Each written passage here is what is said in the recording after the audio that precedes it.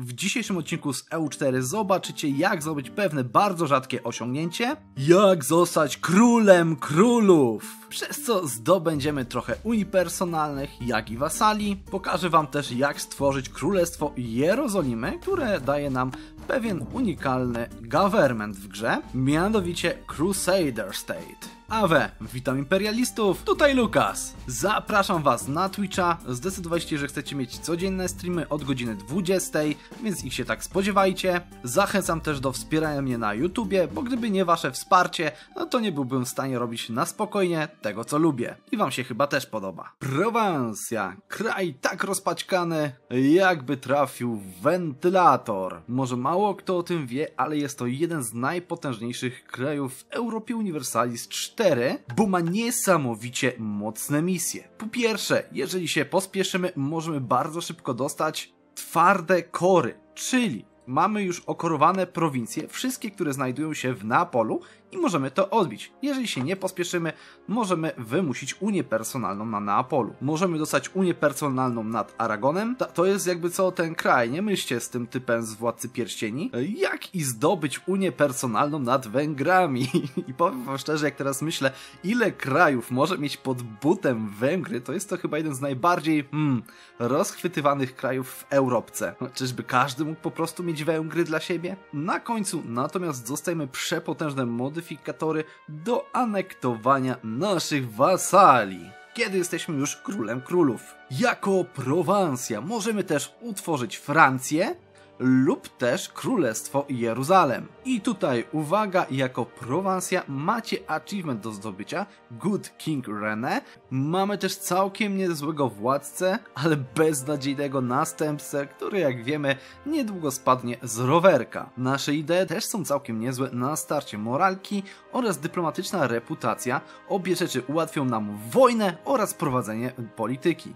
Pozostałe rozwinięcia no to jeszcze stabilność kraju oraz dodatkowe relacje dyplomatyczne, które nam się mogą przydać, zwłaszcza patrząc na to, ile unii personalnych możemy posiadać jako Prowansja. Prowansja ma też sporą szansę, bo mamy już tą samą dynastię jak Francja, żeby zdobyć właśnie Francję również pod buta. Niestety nie mamy na to misji, ale możemy przecież wykorzystać jakoś nasze znajomości, jak to się robi, i zdobyć Unię personalną nad Francją. Co jest też super sprawą, na początku mamy sojusz z tym krajem i będzie on nam potrzebny przez pierwsze 20 lat rozgrywki, najprawdopodobniej później go po prostu zerwiemy. No ale może koniec tego zachwytywania się nad tym dziwnym krajem i może przystąpmy po prostu do rozgrywki. Idealnym startem jest taki, w którym mamy możliwość wzięcia sojuszu z papieżem, bo mamy misję, w której jeżeli poprawimy z nim relacje, dostaniemy Avignon z powrotem. Za darmo a jednak jest to dość wartościowa prowincja, bo ma 11 punktów developmentu. Może Was też kusić, żeby dołączyć do Holy Roman Empire, bo potrzebujemy 152 punktów i jest to możliwe do zrobienia, zwłaszcza jeżeli uda nam się zdobyć sojusz z Austrią. Ale bądźmy szczerzy, jako Prowansja głównie będziemy zdobywali unie personalne lub podbijali trade region genuański, a jak teraz wiemy, państwa włoskie zawsze wychodzą z Holy Roman Empire po 1460 roku no może dwa lata jeszcze po. Może was też kusić, żeby stoczyć szybką wojnę o odbicie tych prowincji od Anglii, E, co jest raczej złym pomysłem, bo doprowadzi to do zerwania waszych relacji z Francją na bardzo wczesnym etapie rozgrywki i nie będziecie mogli korzystać z jej pomocy. Francja ma twarde kory na tych prowincjach i siłą rzeczy, jak tylko zdobędziecie te prowincje, natychmiast zerwie z wami sojusz. Na grze testowej nawet samo zdobycie Maine doprowadziło mnie do zerwania sojuszu z Francją praktycznie od razu. Naszym pierwszym celem jednakowoż jako Prowansja jest jednak stoczenie z kimś szybkiej wojny, bo potrzebujemy 100 punktów developmentu, obecnie mamy 73, bo nasza unia personalna, którą już mamy na starcie, czyli Lorraine, nie wlicza się do tego. A zdobyć te punkty musimy zanim umrze ten władca, który obecnie ma 48 lat, więc tak, może zemrzeć naprawdę szybko. Jeżeli idzie o nasze stany, tutaj gramy totalnie standardowo. Dajemy po jednym punkcie z każdego Monarchy Points, tańszych doradców oraz w Nobility leci Supremacy of the Crown oraz u stanu mieszczan lecimy w dodatkowy prestiż. Oczywiście zabawa Crowlandsami i sprzedaż ziemi totalnie standardowo 1 grudnia. Misja, którą priorytetyzujecie, no to oczywiście relacje z papieżem, jeżeli wam się trafią. Kiedy już macie sojusz z papieżem, nie wiem czemu niektórzy wykupują bulle i wydają na to naprawdę dość sporo początkowych pieniędzy. Nie jest to opłacalne, co prawda, jeżeli planujecie być papieżem,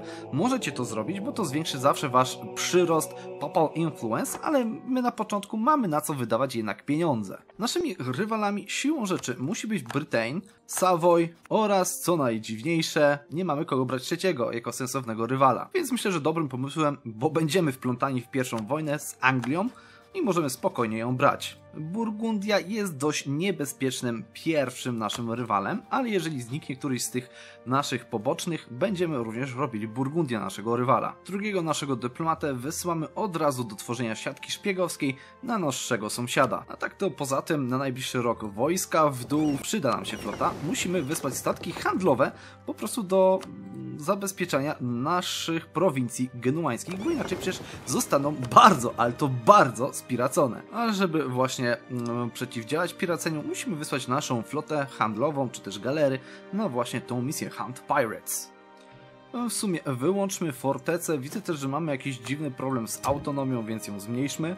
1 grudnia zabieramy ziemię i cieszymy się, bo mamy 5% Crowlandsów i no, dość mały przyrost autonomii. Jako, że jednak nie tracimy aż tak dużo tych pieniędzy, no to zatrudniam następujących doradców. Będę starał się też wymienić doradcy militarnego na morale. No, następnie poprawiamy relacje z papieżem, musimy mieć powyżej 150 punktów, inaczej event na oddanie Avignon nie zajdzie. Wojny o Maine nie będzie, no Anglia oddała prowincję. I w sumie to nawet lepiej. Jako, że nie mamy w ogóle profesjonalnej armii, bez problemu możemy sobie pozwolić na rekrutowanie najemników, co teraz też robię. Jeszcze się upewniam, ale tak, pierwszy władca Aragonu wciąż żyje. Ciekawie, czy jacyś dobrzy dowódcy mi się trafią. Władca taki se.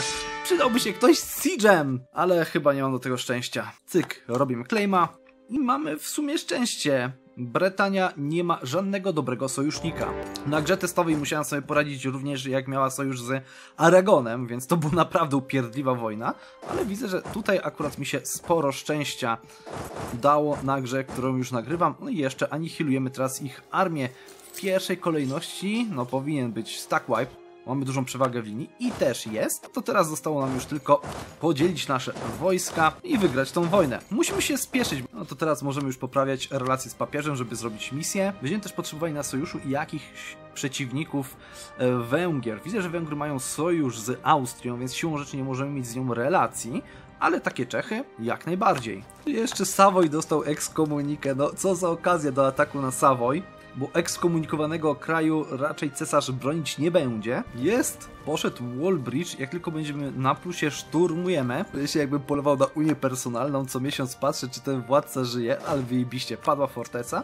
No i na ten moment moglibyśmy już kończyć wojnę, no ale możliwe, że zjemy całą nie no, nie zjemy całej, bo to by musiał się jeszcze desantować na Tyronkel, który jest ich sojusznikiem, a to jest gdzieś tutaj w Irlandii. W międzyczasie Francja i Burgundia mają wojnę. No i wyjebiście jednak mogłem sobie pozwolić na zdobycie całego kraju dla nas, co nam daje też możliwość od razu wykonania tej misji. Zobaczcie, na wszystkie prowincje na polu dostaliśmy twarde kory. Jakie to jest piękne, no nie mogę. Oczywiście możemy toczyć tą wojnę od razu, ale jest pewien moment, kiedy ten władca zginie, wejdzie następca na tron, zerwie się Unia na polu z Aragonem, jest wtedy spora szansa, że on nie będzie miał sojuszów przez pewien czas, i wtedy go atakujemy i mamy wojnę mano un mano. Najlepiej byłoby teraz po prostu czekać na tą wojnę, no chyba, że Francja nas wezwie do wojny.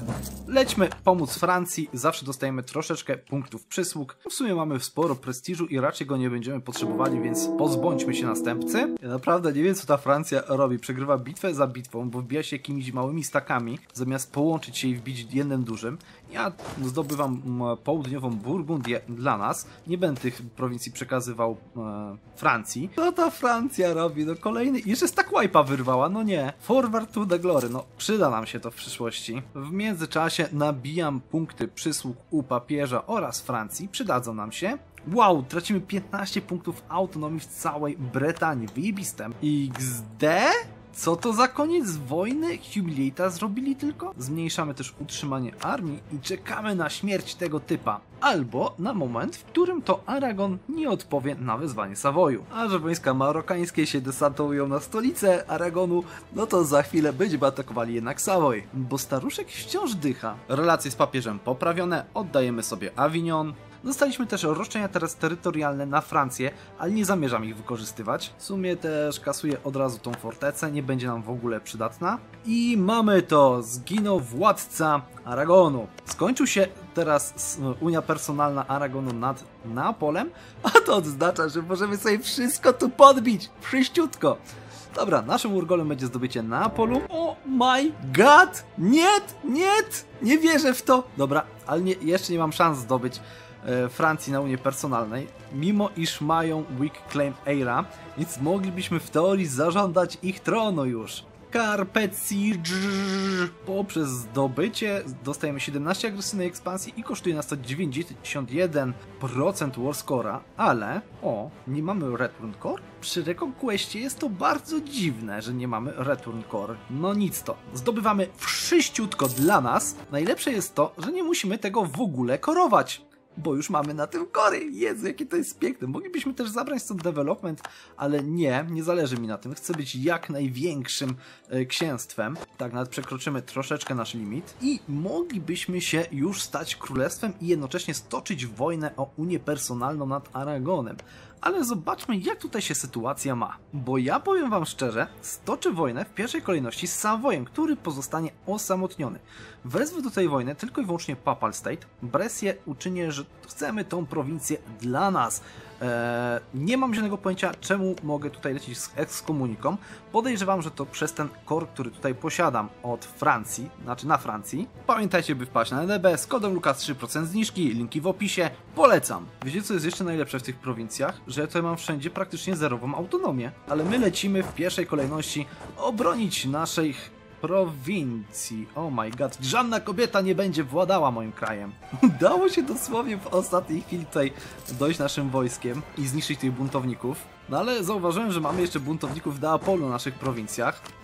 No nic, jakoś sobie z tym poradzimy i czeka mnie wprowadzanie renesansu, czy w sumie nie?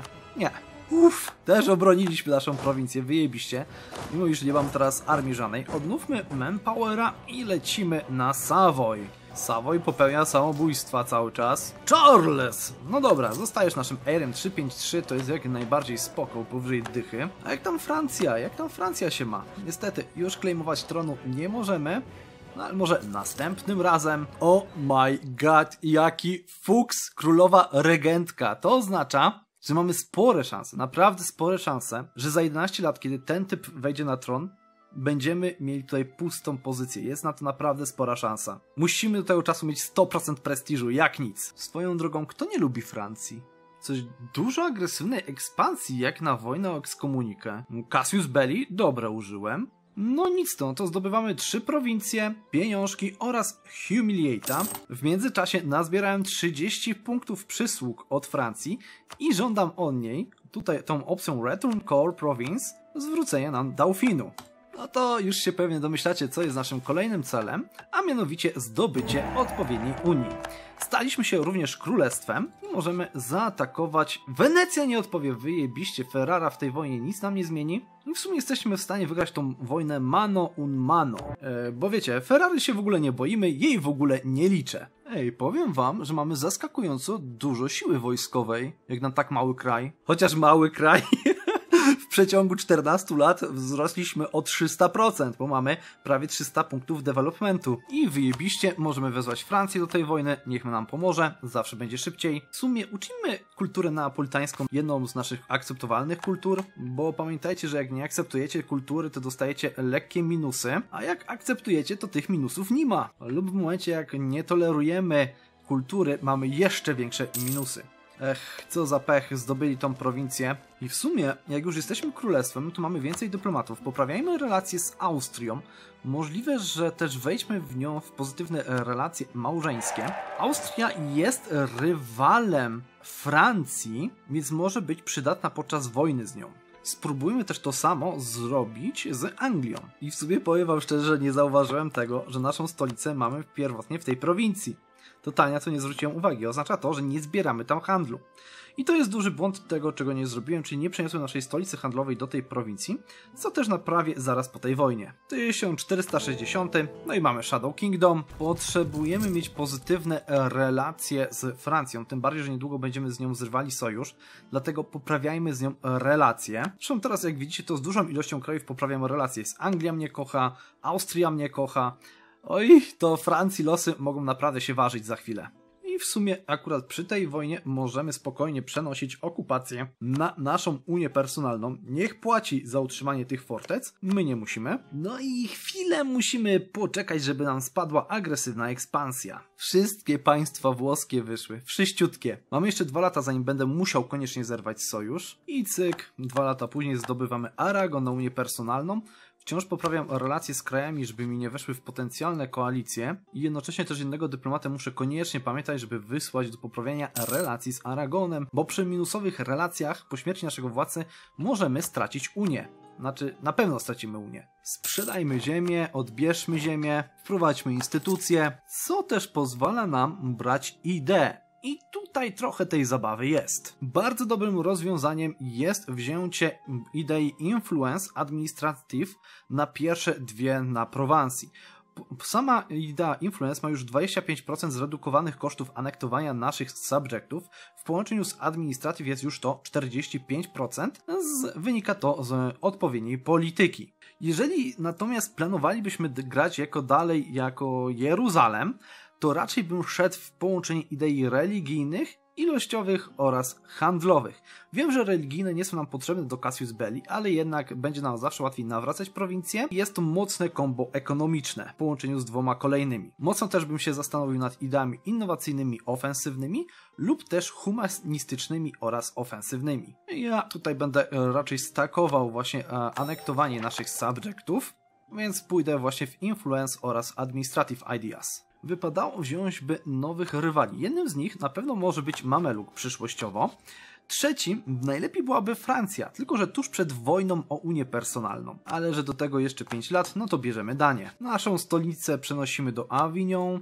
E, jest to dobry obszar, będziemy w trade genuańskim, mamy poniżej prowincję, w której mamy Trade Center do zrobienia, więc wyjebiście, a Avignon ma kloty, więc będzie fajnie tutaj dewować tą prowincję w przyszłości. Zrywamy nasz sojusz, niestety trochę za późno z Francją, ale uwaga, non-topper musimy poprawić z nią relacje i nie bierzemy jeszcze sojuszy z jej rywalami. Koniecznie, jeżeli weźmiecie te sojusze, jest spora szansa, że Francja automatycznie zerwie z wami relacje małżeńskie, a nie możecie do tego dopuścić. Po przeniesieniu naszej stolicy i handlu do Genui, no to następnie musimy pobawić się tutaj w transportowanie.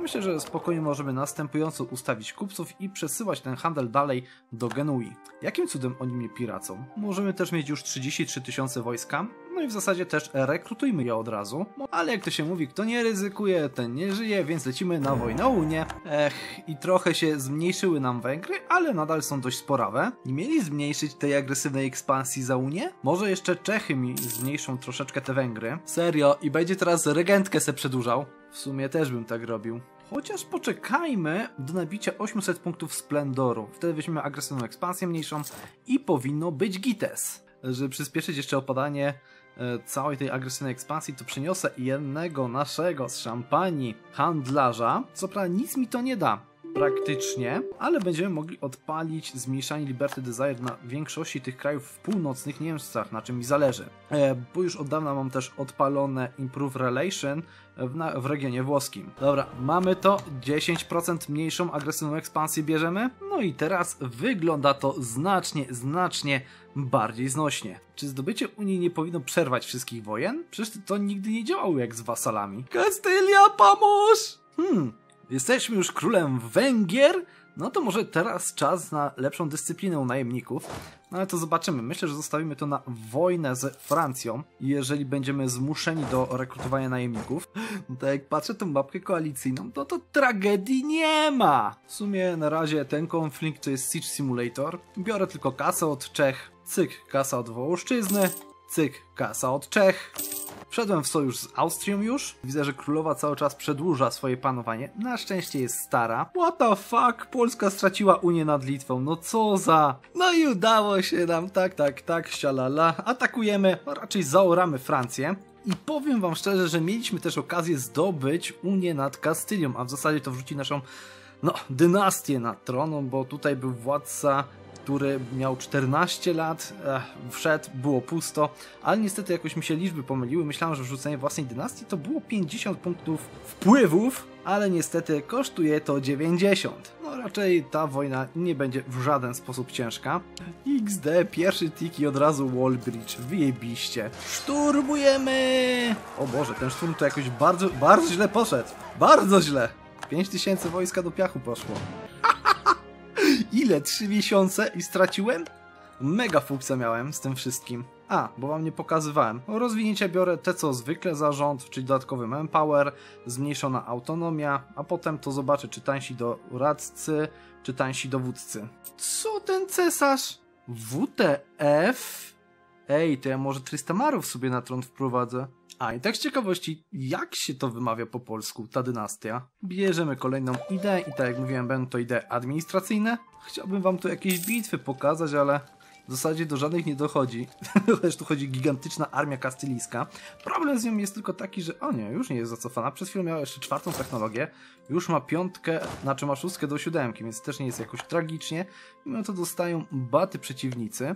Dziwne, że nikt nie zdobywa nam Paryża. Ta Unia nie wróży nam dobrze, jak ona na zajdzie. No nic, no to zaczynamy poprawić relacje po kolei ze wszystkimi krajami, od największego do najmniejszego. Łonie, wojska francuskie zdobyły mi Neapol. Cóż z tym zrobię? Nic nie zrobię. Polski rak toczy wojnę z litewskim rakiem. No ktoż by się spodziewał? Przynajmniej jest to wojna o odzyskanie Unii Polsko-Litewskiej. Zagadka, jak to wojsko dostało się na tą prowincję. Przeszło prześciśninę, bo moja flota stała prowincję obok, jak to zwykle bywa. No okej, okay, Francja totalnie zaorana, a koalicja, no dobra, jest znośna, damy radę. Boże, nie mogę uwierzyć, że w 40 lat Prowancją można aż tak urosnąć. To jest op, tak OP ścierwo i chyba tylko lepszy opening do odtworzenia Imperium Rzymskiego ma Królestwo Aragonu. No, przy okazji dostaliśmy zjednoczenie Oktanii. Tak, jesteśmy królem Francji, dostaliśmy zwiększone morale, super. Hmm, zintegrowanie Lorraine. No, trzeba to zrobić. Ale tak sobie pomyślałem, że w sumie fajnie byłoby rozmontować w tym okresie Osmana, bo toczy dość ciężką wojnę kilkoma włoskimi krajami. Albo zaatakować Mameluka, jedno z dwóch. 91 punktów agresywnej ekspansji. Coś ostatnio przeginam w tym regionie Holy Roman Empire, naprawdę. No to teraz poprawiamy relacje z Francją, jak najszybciej powyżej zera. I też zajmijmy się naszym handlem genuańskim, bo mamy już nad czym pracować, szczerze mówiąc, od dawien dawna. Bardziej, że mamy i Neapol, i Ax, czy Aix, Ciero. Rozpocznijmy integrację naszej najmniejszej unii. Zaatakujmy też Genuę, ale nie wzywamy osobno Cypru. Jako, że mam dużo punktów militarnych i wciąż nielojalną Francję, to zdewujmy jej prowincje. Oczywiście te najtańsze, które wcale nie są jakieś tanie. Wiem, wiem, powinienem czekać, aż mi spadnie agresywna ekspansja i tak dalej, ale jakoś tak mi się nie chce. Czyli co, ja wam buduję workshopa, a wy mi ziemię oddajecie? Raczej dobry deal. I cyk, zjedliśmy Rolane, Lolatkę zjedliśmy, co powoduje, że no, zmniejsza mi się jeszcze szybciej agresywna ekspansja. Bardzo mnie to cieszy. Oh my god, a teraz muszę być cesarzem Holy Roman Empire. Czy ja mam na to szansę? Ej, w sobie jakby teraz przeprowadzić te wszystkie reformy, nie no, to nie jest możliwe. Chociaż, no, niedaleko mam do Pragi. I ciekawe co by było, jakbym jednak przeprowadził te wszystkie reformy i potem zmienił się w Jeruzalem. Czy w Jerozolimę. A, nie jest cesarzem Chre. Paradoks to przewidział, nie! Cyk. Cypr zjedzony. Ogólnie lepiej byłoby zabrać te dwie prowincje, dałby nam to o wiele większy udział w handlu, no ale jednakowoż do misji potrzebuje tych prowincji. O, to też fajne jest. Cyk, podbijamy Sardynię do końca, rozwijamy Prowansję, za wpływy papiestwa weźmy sobie legata papieskiego, co zwiększy naszą dyplomatyczną reputację, a chce się przyszykować do wojny o rozwiązanie Holy Roman Empire. No to trochę przegiąłem w relacjach, trudno, a my zaatakujmy Czechy. Standardowo teraz sprawdzam, czy dany kraj ma wojnę z nami, czy jest w sojuszu z nami, bo to pozwoli nam rozwiązać Holy Roman Empire. Chociaż nie ukrywam, kusi mnie, żeby niektórzy na mnie głosowali, bo byłoby to nawet realną opcją. Stolica cesarza padła, Stolica jednego z elektorów wpadła, Praga również padła. Żegnaj imperium, Czechy pod okupacją, chociaż i tak dużo od nich nie wziąłem, bo agresywna ekspansja. Osman ma wojnę z Mamelukiem, więc zaatakujmy go na Show Superiority Cassius Belli. Wezwiemy do tego też Kastylię do pomocy. A, jak przeciwnik się wbija na dwóch minusach, to co tylko zrobić można, jak nie wygrać bitewki. Dołączyliśmy do Imperium Świętego Romana. Jak nic. Ups, Osman wrócił, a my tutaj toczymy bitwę o wszystko. Nasze siły się spotkały, wszystkie Osmana, wszystkie moje. Na razie tą bitwę wygrywamy, mimo iż, no niestety, jesteśmy na minusach, bo to Węgrzy nas spulowali do tej bitwy. Nieźle. Gdzieś tutaj wojska Osmana na południe się wycofają. Nie przedłużając, od Osmana bierzemy Kosowo oraz prowincje, z których, jak wiemy, wypuścimy Bizancjum, a po pokonaniu Osmana możemy wziąć się za atak na Egipt żeby zdobyć potrzebne nam prowincje do utworzenia Jerozolimy. I mamy tą udaną krucjatę na Jeruzalem. Nasze jest miasto, wypuszczamy też jednego wasala Syrię, ma bardzo dużo prowincji do odbicia. Żeby nam się za bardzo nie nudziło, wykorzystajmy chwilę wolnego i odbijmy prowincję dla Francuzów. Czemu Anglia się zdesantowała mi na Węgry? Ja tego nigdy nie zrozumiem. A w sumie co mi tam? Jesteśmy przecież królem Węgier Jesteśmy królem królów. Piękna rzeź angielskiego wojska i część prowincji odzyskana dla naszej kochanej Francji. Ja nie mogę, na ten moment dopiero 70% Reform Desire. Mogłem jednak przejąć to chrę. Burgundia jest moją unią. Wyjebiście! I mam odpowiedź też na pytanie, co się stanie, jak rozwiążę chrę.